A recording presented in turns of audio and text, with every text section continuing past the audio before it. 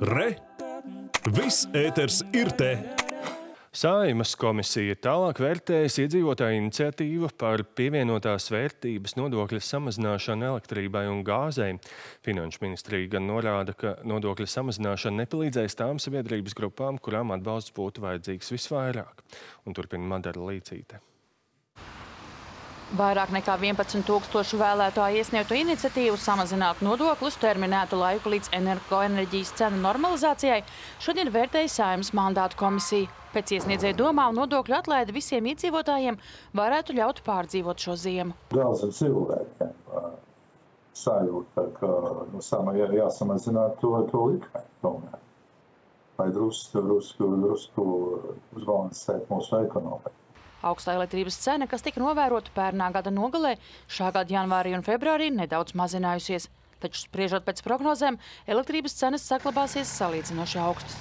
Finanšu ministrijas pārstāvis Atis Zakatistovs uzsvēra, ka Latvijas valdība ņēma vērā valsts budžeta iespējas un kā prioritāte energoresursu cenu jautājumā noteicis sniegt mērķētu palīdzību tiem, kam šī palīdzība ir nepieciešama. Savukārt, samazinot PVN, netaisnība būtu tāda, ka lielākas atlaides saņemtu tie, kas enerģiju tērē vairāk. PVN neaiziet līdz tām grupām, kuras ir kurām šāda veida atlaides ir visnepieciešamākās. Ja kāds iedzīvotājs, kuram ir milzīga māja, tērē daudz elektrības, viņam ir um, lielāka atlaide nekā tam, kam tas ir nepieciešams mazā mājiņā daudz bērnu ģimenei. Enerģētikas eksperts Juris Ozoliņš sēdē uzsvēra, ka valdībā jādomā, kā palīdzēt ar elektroenerģijas cenu apmaksu tiem, kuriem klājas visgrūtāk. Jāatrod tās grupas, kuras, eh, kuras patiešām Eh, kuru atbalstam ir jāsagatavojas, tuvojoties cenu krīzēm vai izaicinājumiem.